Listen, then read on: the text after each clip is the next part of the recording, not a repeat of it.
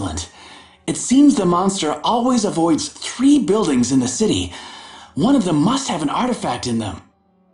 Head to the Universe City Museum and see if you can find one. Roy and Beth will check the other locations. We'll keep in touch by radio.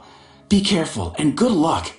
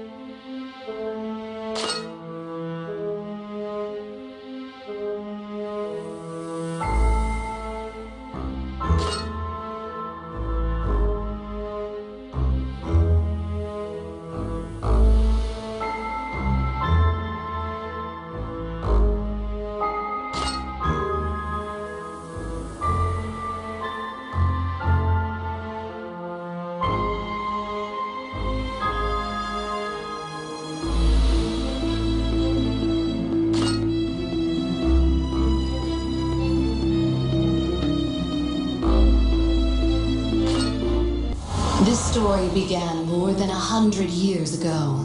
In those days, there was a wise woman who lived in harmony with nature. But one day, people came to build a city. They chopped down trees, killed the animals, and even changed the river's flow.